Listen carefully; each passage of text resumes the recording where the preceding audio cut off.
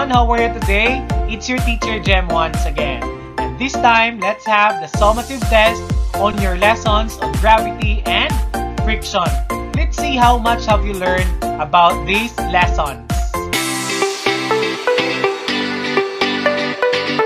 Hi everyone! Welcome to my channel, Tutorial by Sir Raymond.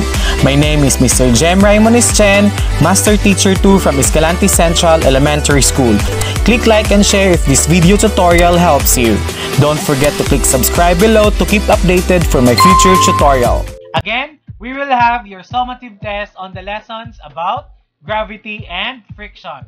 I'll be flashing questions on screen. I'll give you time to answer. You can answer it in any piece of paper. And after that, I will give you the correct answer right away.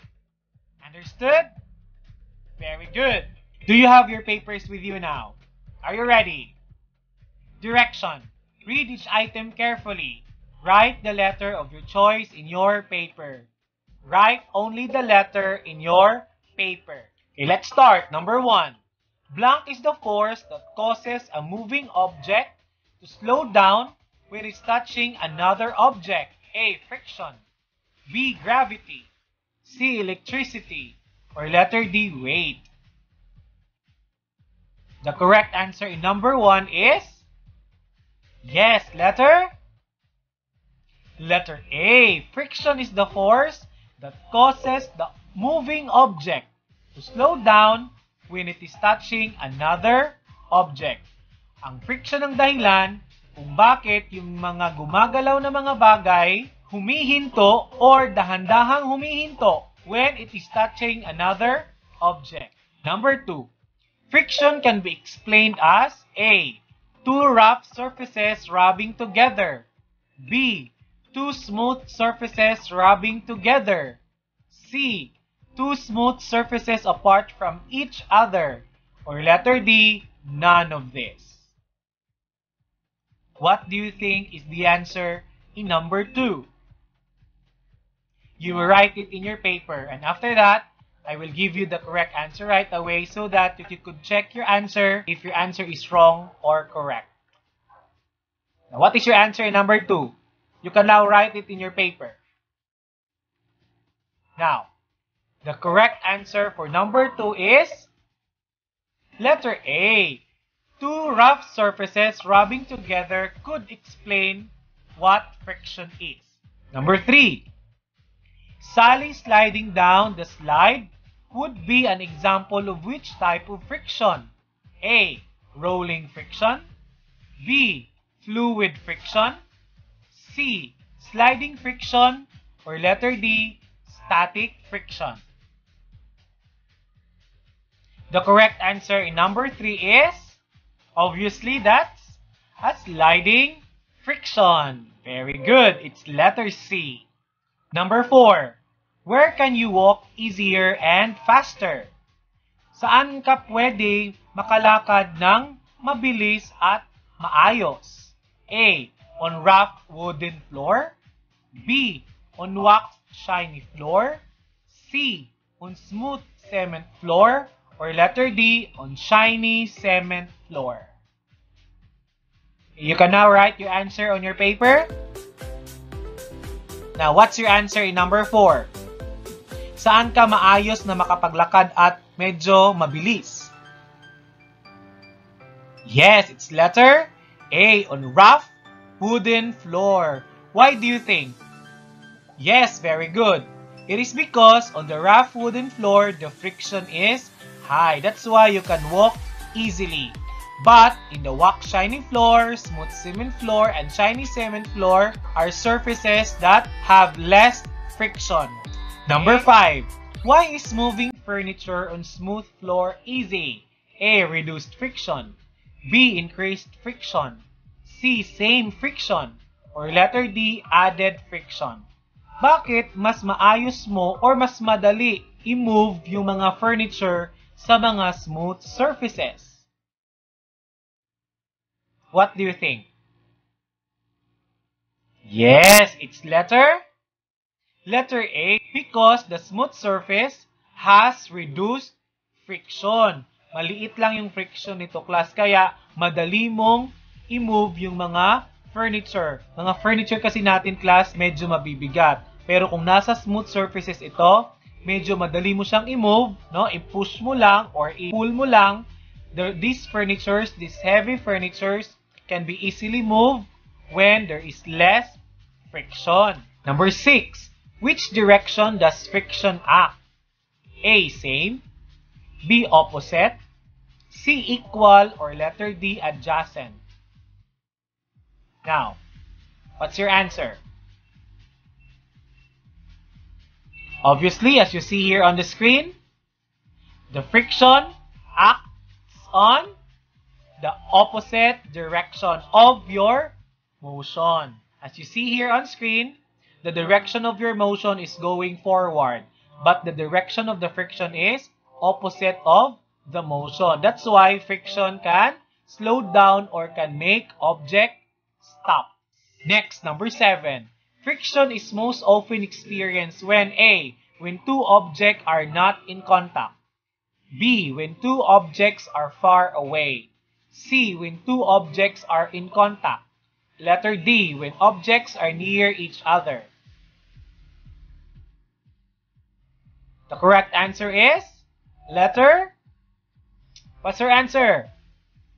Yes, the correct answer is friction can be experienced often when two objects are in contact.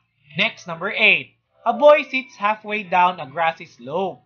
What force stops him sliding down? A. Gravity. B. Weight. C. Friction. Or letter D. Undetermined. Ano ba yung dahilan kung bakit hindi na-slide ang boy nung nasa or grassy slope? The correct answer is letter C. Friction is the force that stops the boy from sliding down. Number 9.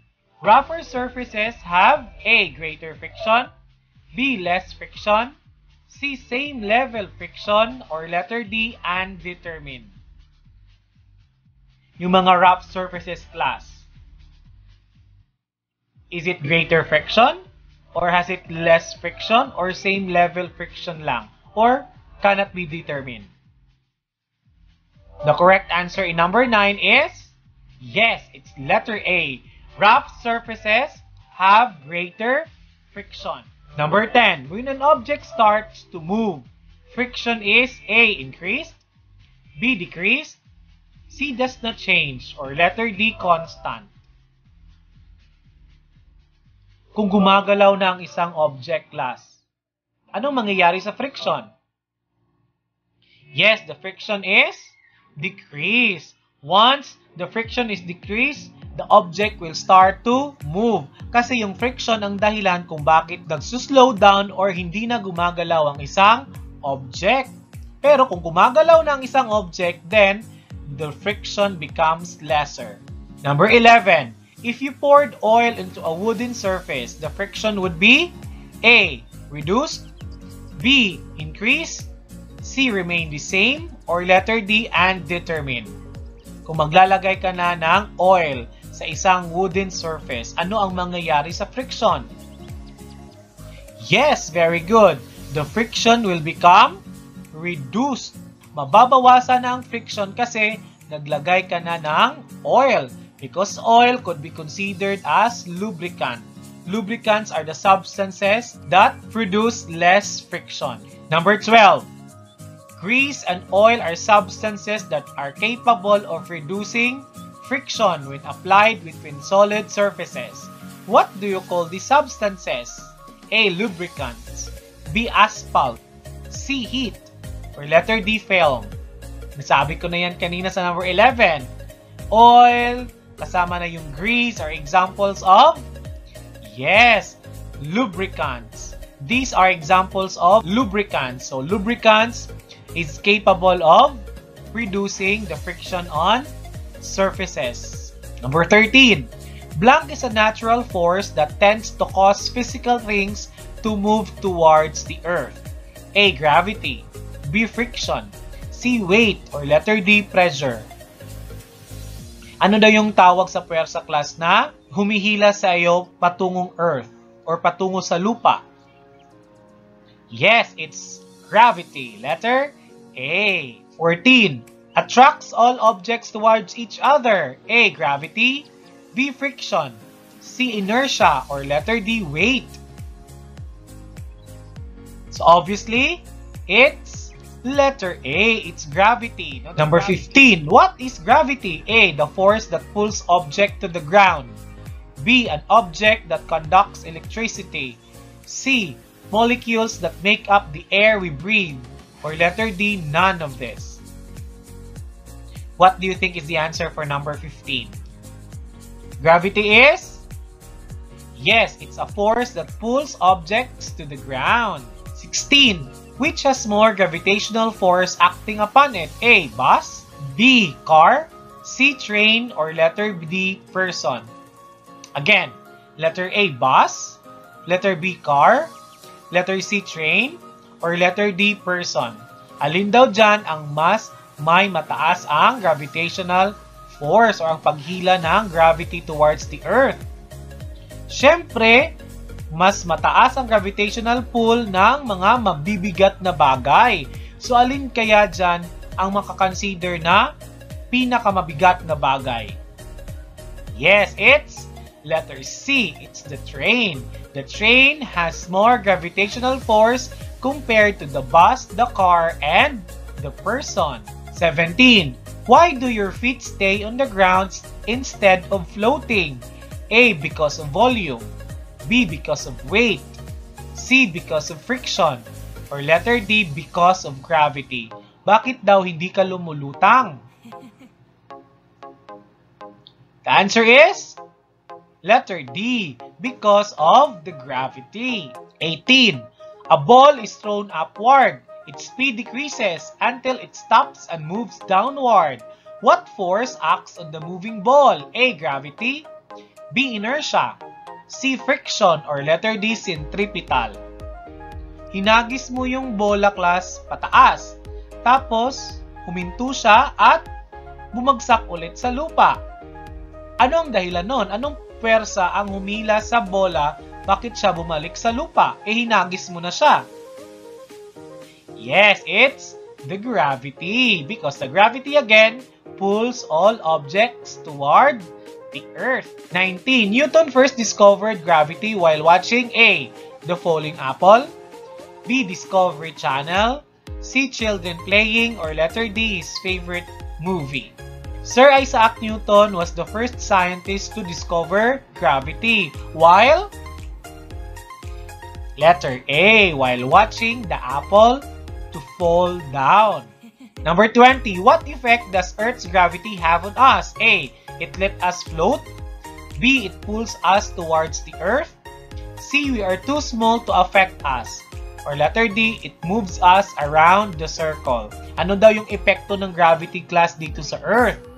Dito sa atin? Yes! The gravity pulls us towards the Earth. Next, number 21. What effect does the moon's gravity have on Earth? A. It causes ocean tides.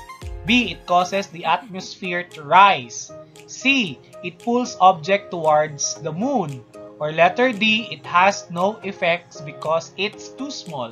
Anong epekto ng gravity ng moon class dito sa atin? So the moon's gravity has an effect on us in terms of tides. Yung ocean tides natin class ay epekto ng gravity ng moon. 22. How does friction affect speed? A. More friction decreases speed. B. More friction increases speed. C. Less friction decreases speed. Or letter D. None of this. What's your answer? The correct answer in number 22 is letter A. More friction decreases speed. Mas marami yung friction, mas less ang paggalaw or hindi gagalaw ang isang bagay. So, it will also decrease the speed of an object. 23. Wheels of a shopping cart would be an example of which type of friction? A. Rolling friction. B. Fluid friction. C. Sliding friction. Or letter D. Static friction. Yes, it's letter A. Rolling friction. 24. Which of the following statements is true? A. Friction pulls object towards the center of the earth. B. Friction affects primarily objects that contain iron. C. Friction slows down or stops objects in motion. D. Friction does not affect objects in motion. Ano yung statement na tama dyan? Yes, it's letter C. Friction slows down or stop object in motion. And number 25. Which of the following is not an example of friction as a helpful force? A. Using hand to wave hello to a friend. B. Using cloth to clean a pair of glasses. C. Using a marker to draw a picture on paper. Or letter D. Using scrub brush to wash dishes. Letter A. Using hand to wave hello to a friend. Now, what's your score, class? Count your score.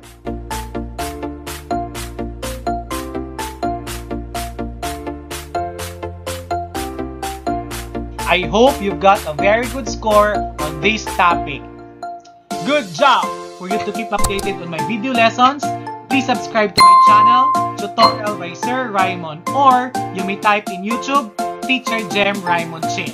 Or simply, you may follow the steps liking and in subscribing my channel. Click the bell, then click all, then you'll receive notifications in all my video lessons. For those who have subscribed already, thank you so much. See you next time. Keep safe everyone.